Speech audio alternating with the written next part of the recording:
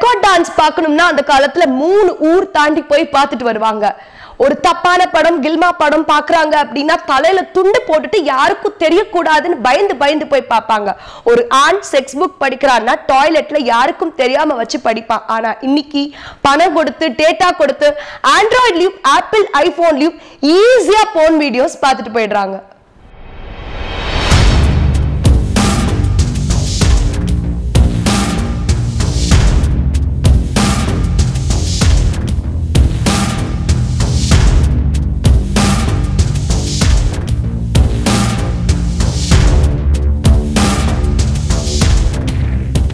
Welcome to tea glass make tea not war porn ஆபாச படங்கள் sex videos எக்ஸெக்ஸஸ் videos இப்படி சொன்னாலே வந்து ஒரு தப்பான விஷயம் மாதிரியான பார்க்கக்கூடிய எண்ணம் தான் நம்ம சொசைட்டியில் இருக்கு.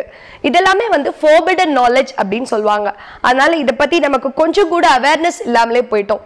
போன் அடிக்ஷன் அப்படிங்கிறது அவ்வளோ பெரிய விஷயமா அப்படின்னு பார்த்தா உலக பாப்புலேஷன் தட் இஸ் வேர்ல்ட் லெவலில் டோட்டல் பாப்புலேஷனில் நாற்பது மில்லியன் பேர் போன் அடிக்டா இருக்காங்க. பர்டிகுலர்லி இந்தியாவில் தமிழ்நாட்டில் சிக்ஸ் க்ரோர்ஸ் பாப்புலேஷன்ல மூணு கோடி பேர் போன் வீடியோஸ்க்கு அடிக்ட் ஆகியிருக்காங்க. ஆல்கோஹாலை விட போத ஊசியை விட போத மாத்திரையை விட மிகப்பெரிய அடிக்ஷன் அப்படின்னு சொல்றோம். சரி ஏன் வந்து இந்த போனுக்கு அடிக்ட் ஆகுறோம் அப்படின்னு பார்த்தா மைண்ட்ல டோப்பமின் அப்படின்னு சொல்லி ஒரு கெமிக்கல் சுரக்க ஆரம்பிக்கும். அது வந்து நமக்கு இப்போ எப்படி நம்ம காஃபி சாப்பிட்டா டீ சாப்பிட்டா கெஃபைன் வந்து நம்ம பிரெயின்குள்ளே போய் ஸ்டிமுலேட் பண்ணி நம்ம ஒரு எனர்ஜியா இருக்கிற மாதிரியான ஒரு ஃபீல் கொடுக்குதோ அதே மாதிரி இந்த போன் வீடியோஸ் பார்த்தா திரும்ப திரும்ப பார்க்கணும் அப்படிங்கிற ஒரு எண்ணம் ஏற்படுத்தும். ஏன் வந்து திரும்ப திரும்ப பார்க்கணுங்கிற எண்ணம் ஏற்படுத்துது அப்படின்னு பார்த்தீங்கன்னா ரொம்ப சிம்பிள் நம்ம ஒரு தேட்டர் போறோம் ஒரு மொக்க படம் பார்க்குறோம் அப்படின்னு வச்சுக்கோங்களேன் அந்த படத்துல ஒரு சென்டிமெண்ட் சீனோ இல்ல ஒரு ரொமான்ஸ் சீனோ இல்லை ஏதோ ஏதோ ஒன்று அது ஒரு சாதாரண நமக்கு பிடிக்காத படம் பார்த்தாலே அந்த சீனை பற்றி நம்ம ஒரு பத்து பேர்கிட்ட பேசுவோம். அப்போது போன் வீடியோ அப்படிங்கிறத பார்க்கும் பொழுது நம்ம ஒரு நார்மலான படத்தில் அந்த ஹீரோவாக இருந்தால் நம்ம என்ன பண்ணியிருப்போம் அப்படின்னு யோசிக்கிற மாதிரி போன் வீடியோஸ் பார்க்கும்பொழுது நம்மளுடைய மைண்ட் நினைக்க ஆரம்பிக்குது. போன் வீடியோஸ் பொதுவாக எல்லாமே பார்த்தீங்க அப்படின்னா ரொம்ப ரொம்ப அன்ரியலிஸ்டிக் சுச்சுவேஷன் அல்லது ப்ராக்டிக்கலே இல்லாத சுச்சுவேஷன் பேஸ் பண்ணி ஷூட் பண்ணுவாங்க. உதாரணத்துக்கு வந்து ஒய்ஃப் தனியாக இருப்பா அப்போ யாரோ ஒரு தெரியாதவன் வருவான். இல்லை வந்து ஒரு பையன் தனியாக இருப்பான் அப்போ ஒரு பொண்ணு வந்து செடியூஸ் பண்ணுவா. இல்ல தேவையில்லாத ஒரு கள்ள தொடர்புகள் இந்த மாதிரியான சுச்சுவேஷன்ஸ்ல தான் வந்து போன் வீடியோ ஷூட் பண்ணுவாங்க. அப்படி ஒரு அன்ரியலிஸ்டிக் சுச்சுவேஷனை நம்ம மைண்ட் வந்து யதார்த்தம் பிராக்டிக்கல் நம்ப ஆரம்பிக்கும். ஏன் நம்ப ஆரம்பிக்குது அப்படின்னா ஒன்னும் இல்ல இப்போ ஒரு படத்துல வந்து தனுஷ் ஒரு நூறு பேரை போட்டு அடிப்பார். ஆனா நிஜத்துல ரெண்டு பேர்கிட்ட கூட அவரால் அடி வாங்க முடியாது. இது நமக்கு தெரியும். இது ஷூட் பண்றாங்க அப்படின்னு சொல்லி நமக்கு தெரியும். சூப்பர்மேன் ஹீமேன் எல்லாம் வானத்துல பறப்பாங்க. ஆனா இது நம்மளால பண்ண முடியாதுன்னு நமக்கு தெரியும். எப்படி நமக்கு இந்த அறிவு வந்துச்சு? ஏன்னா நம்ம இந்த விஷயத்தை பத்தி ஃப்ரெண்ட்ஸ் கிட்ட டிஸ்கஸ் பண்ணுவோம். கலந்து ஆலோசிப்போம் ஸோ நிறைய ஷேர் பண்ணும்போது நமக்கு இது தெரியும். இது இப்படிதான் ஷூட் பண்றாங்கன்னு சொல்லிட்டு. பட் போன் வீடியோஸ் பத்தி நம்ம யாருக்கிட்டையும் பேச மாட்டோம். போன் அப்படிங்கிற வார்த்தை சொன்னாலே நம்ம தப்பா நினைச்சிருவாங்களோன்னு சொல்லி பயந்து நிறைய பேர் இதை வெளியே ஷேர் பண்றது கிடையாது. ஸோ அப்படி ஷேர் பண்ணாதப்ப அதை பத்தின நாலேஜ் நமக்கு கிடையாது. ஒரு போன் வீடியோ ஷூட் பண்ணும்பொழுது பாத்தீங்க அப்படின்னா கேமரா ஆங்கிள்ஸ் எல்லாமே வந்து வேற மாதிரி ஒரு மாதிரி தாறு வைப்பாங்க. அந்த ஆர்டிஸ்டோடைய பாடி பார்ட்ஸ் எக்ஸ்ட்ரா லார்ஜா காட்டுவாங்க. இதுக்காகவே ட்ரெயினர் ஆர்டிஸ்ட் சர்ஜரி பண்ணிப்பாங்க. இன்ஜெக்ஷன்ஸ் எடுத்துப்பாங்க டேப்லெட்ஸ் எடுத்துப்பாங்க. ஒரு ஆண் பாத்தீங்கன்னா ஒரு சிக்ஸ் பேக் வச்ச மாதிரி இருப்பான். லேடிஸ் பாத்தீங்கன்னா அவங்களுக்கு எக்ஸ்ட்ரா பூப்ஸ் இருக்கும் பெரிய மார்பகங்கள் இருக்கும் கர்வ்ஸ் இருக்கும் ஷேப்ஸ் இருக்கும். ஸோ இதை பார்க்கக்கூடிய மைண்ட்ல நமக்கு என்ன தோண ஆரம்பிக்கும்? தட் இஸ் ஜென்ரலா அதை பார்க்குறவங்களுக்கு என்ன தோண ஆரம்பிக்கும் அப்படின்னா ஏன் வந்து நம்மளோட ஒய்ஃப்க்கு அப்படி இல்லை? ஏன் நம்மளுடைய பார்ட்னருக்கு அந்த மாதிரிலாம் இல்லை அப்படின்னு சொல்லி தோண ஆரம்பிக்கும். ஸோ இது வந்து யதார்த்தத்துக்கு அப்பாற்பட்டது. கண்டிப்பா ப்ராக்டிக்கலா இப்படி அமைய போறது இல்ல சரி அடுத்தவங்களை நினைச்சு நம்ம இந்த மாதிரியான விஷயங்கள் திங்க் பண்ண ஆரம்பிக்கும் போது அது ரிலேஷன்ஷிப் பிரேக்கப் ரிலேஷன்ஷிப் ஃபெயிலியர் இந்த மாதிரியான விஷயங்கள் இல்ல தப்பா ஏதாவது ஒண்ணு பண்ணலாம் அப்படிங்கிறதுக்கான மென்டல் செட்டை ப்ரிப்பேர் பண்ண ஆரம்பிக்குது.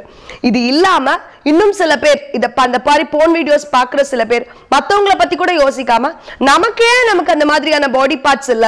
நம்ம ஏன் அழகா இல்ல. நம்ம ஏன் வந்து இம்ப்ரெஸ் பண்ண முடியல அப்படின்னு சொல்லி தன்னோட செல்ஃப் எஸ்டீம் சுயமரியாதை இழக்கிற லெவல்ல வந்து திங்க் பண்ண ஆரம்பிச்சிடுறாங்க. இந்த போன் வீடியோஸ் அப்படிங்கிற அடிக்ஷன்னால இன்னைக்கு நிறைய family life breakup and relationship breakup நடந்துட்டு இருக்கு இந்த போன் வீடியோஸ்னால சைக்கலாஜிக்கலா பாதிக்கப்படும் பொழுது ரெஸ்ட்லெஸ்னஸ் ஸ்லீப்லெஸ்னஸ் இன்சோம்னியா இப்படி பல வியாதிகள் உருவாகிறதுக்கு காரணமா இருக்கு. செக்ஷுவல் டிசார்டர்ஸ் வருது எஸ்டிடி சார்ந்த நோய்கள் வருது இன்னும் பல பிரச்சனைகள் வருது. முக்கியமா சூசைட் அட்டெம்ப்ட் பண்ற அளவுக்கு நம்மளுடைய மென்டல் செட்டை மாத்தக்கூடிய தன்மை இந்த போன் வீடியோஸ்ல இருக்கு அப்படின்னு சொல்றாங்க. ஆனாலும் நம்மளால நிறைய பேரால இந்த போன் வீடியோஸ்ல இருந்து வெளியே வர முடியாம தத்தளிக்கிறாங்க. இந்த ஹாபிட்ஸ்ல இருந்து வெளியே வரத்துக்கு நிறைய ட்ரீட்மெண்ட்ஸ் கொடுக்குறாங்க. Psychological base mental stress disorder based treatment கொடுக்குறாங்க. காக்னட்டிவ் பேஸ்டு தெரப்பின்னு சொல்றாங்க. பட் இப்படி ரொம்ப டெக்னிக்கலா போறதுக்கு பதிலா சிம்பிளா இந்த போன் வீடியோஸ்ல இருந்து வெளியே வரத்துக்கு இந்த வீடியோ மூலமா சில டிப்ஸ் கொடுக்குறேன். ரிலேஷன்ஷிப்ல இருக்கிற நிறைய பேர் லைக் ஆஃப்டர் மேரேஜ் இருக்கிற நிறைய பேருக்கு போர்னோகிராஃபி பார்க்கும்பொழுது அந்த போர்னோகிராஃபியில் டைரக்டா வந்து தேல் ஸ்டார்ட் டூயிங் செக்ஸ் அதனால இப்போ நம்மளோட லைஃப்ல ப்ராக்டிக்கல் லைஃப்ல ஹஸ்பண்ட் அண்ட் ஒய்ஃப்குள்ளே வந்து காமம் மட்டும் இல்லாம காதலோடு சேர்ந்த காமம் தான் வந்து எதிர்பார்க்குறாங்க. அது இல்லாம போயிடுது.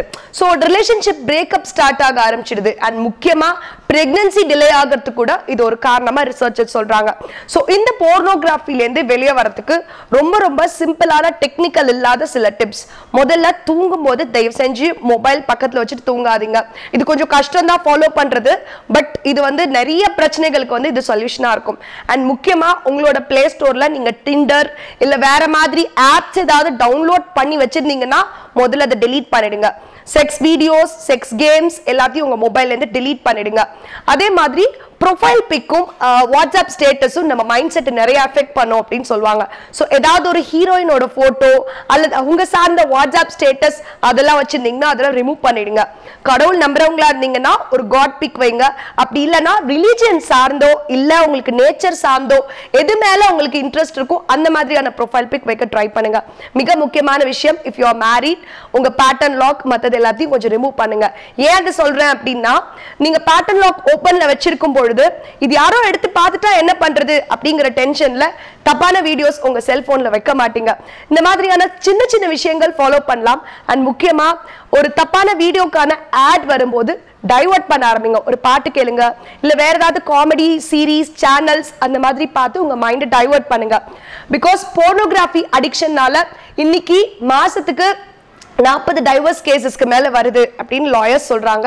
ஸோ தயவு செஞ்சு இந்த போர்னோகிராஃபி அடிக்ஷன்லேருந்து வெளியே வரதுக்கு சின்ன சின்ன டிப்ஸ் ஃபாலோ பண்ணுங்க. இன்னும் நிறைய அதிரடியான அவசியமான விஷயங்கள் பத்தி பேசும் மறக்காம டி கிளாஸ் சேனலுக்கு சப்ஸ்கிரைப் பண்ணுங்க.